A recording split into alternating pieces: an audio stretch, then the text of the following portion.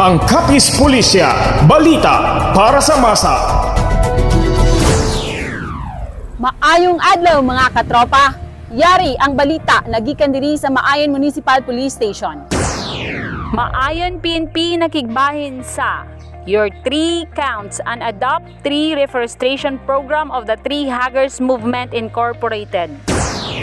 Ang maayon PNP sa liderato ni Police Major Christopher N. Candelario, Chief of Police sang nagligad nga Marso 21, 2023 nakig-upod sa tree planting activity sang Tree Huggers Movement Incorporated nga gintiguluhan your tree counts sa Sitio Litik, Barangay Ogia, Maayon, Capiz. Ang nasambit nga aktibidad ginupdan sang narisari nga ahensya sang gobyerno lakip ang Capiz Provincial Environment and Natural Resources Office, Maayon LGU and Menro, Department of Education, Maayon PNP, Pontevedra PNP, President Rojas PNP, PMFC, Force Multipliers, barangay officials kag madamo pa nga iban. Nagtambong man sa among activity si Police Colonel Jerome D. Afuyog Jr., Provincial Director sang Capiz PPO.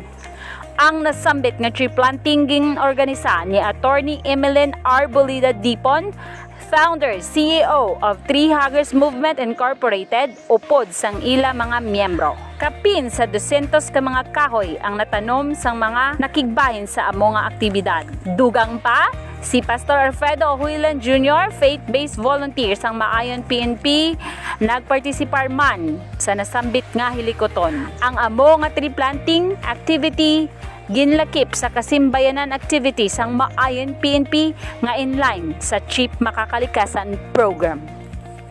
Kagamuyod to ang mga balita nagikan diri sa Maayon Municipal Police Station. Sa ngalan sang amon hepe nga si Police Major Christopher N. Candelario, ini ang inyo Police Patroller, Police Staff Sergeant Lourdes Dilaw de Lumos para sa Kapis Pulisya, balita para sa masa.